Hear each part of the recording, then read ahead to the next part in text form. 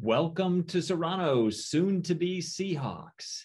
Now, normally in a regular year, you would have already been here at Serrano. You would have been visiting in our gym for a tour, for an assembly, to get to know uh, the school, to get to know me and our staff here. And uh, due to the unusual year we've been having, we haven't been able to do that. So we're going to bring that information to you. So you very well likely may have already taken a virtual tour with one of our ASB students. If not, you'll get to do that this week. And this elective registration form that you're now going through, you would have had an opportunity to talk with us about it and we would have shared some things with you. But we're doing that all right here virtually. So you have everything that you need. Now, I want to share with you a few particulars about the elective registration process and specifically our STEAM elective. Now, STEAM, uh, our STEAM Village is a limited availability program, meaning there are a certain number of students that we can take into the program. So if you really want STEAM Village, make sure you select it as your first choice. That way it gives you the best chance to get into the STEAM Village if you really want it. But before you make that selection, I want you to know a couple of other things. First of all, STEAM Village is a two-year commitment. We're asking you to select it as your elective choice for the next two years. You will have three electives as a seventh grader and then three electives as an eighth grader, 12 weeks each rotating through the year. You'll have in seventh grade, you'll have engineering, computer science, and digital media arts in an introductory way. And then in eighth grade, you'll get all of those courses again in more depth. So you'll have those six elective classes as you go through Serrano here. Now, also, I want you to know that if you are interested in STEAM Village, that there is an application that you need to fill out, and you're going to get more information on that in just a moment.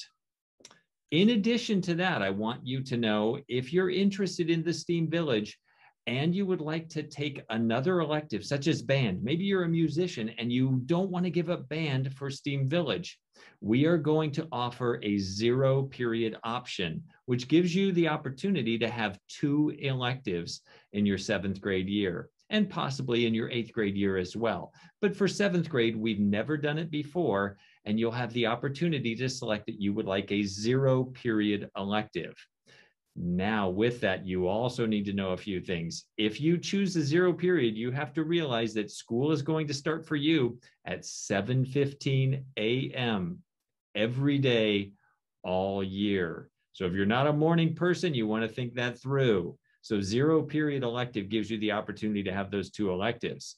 Also with zero period, once you are selected for a zero period, you are committing to keeping that elective all year long. You can't drop out because we staff that class at the initial ratio of students to teachers. So you need to stay there. It's a commitment for all year. And one thing I do want to let you know, there is no guarantee that we can offer a zero period because it depends on you. If we get enough demand, meaning enough students want a zero period, then we'll be able to offer it. If we don't get enough students that would like a zero period, then we can't offer it. So information will be given to you at the end of summer to let you know if you were selected for that. So now you want to know more about the elective choices you have. So I'm going to turn this over to our seventh grade assistant principal, Ms. Branley. So take it away, Ms. Branley. Hello, future Seahawks. I am Miss Branley, your seventh grade assistant principal. We can't wait to have you join us next year on campus. To make next year super successful, we need some more information from you.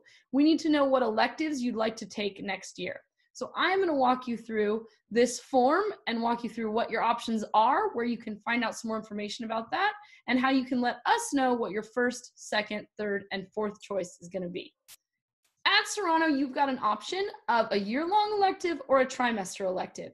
If you choose a trimester elective, that means that you're going to be getting three different electives throughout the course of the year. If you choose a year long option like band or ASB, that means that you'll have that elective all year long. Within the form, there are course descriptions, descriptions of each of the electives, and you can find those by clicking on this link. And there is also a video that you're going to want to check out where you can find out more information about each elective option, the types of work that you'll be doing, and what you can expect from each of those classes. Once you've checked out that information and you've decided what electives you would like to choose, you'll do that in this portion of the form. You'll choose your first, second, third, and fourth choice, um, letting us know what electives you'd like and what order you'd prefer those in. Thanks, Seahawks, for taking the time to make your elective choices. We can't wait to have you on campus next year.